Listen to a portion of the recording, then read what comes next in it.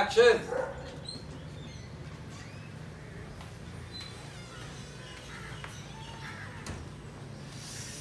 हाँ भाई क्या फैसला किया तुमने फिर? देखे देखिए सिद्दीकी साहब मैं बड़ी नाक वाला बंदा हूँ। तुम बड़े मुँह वाले नहीं थे क्या?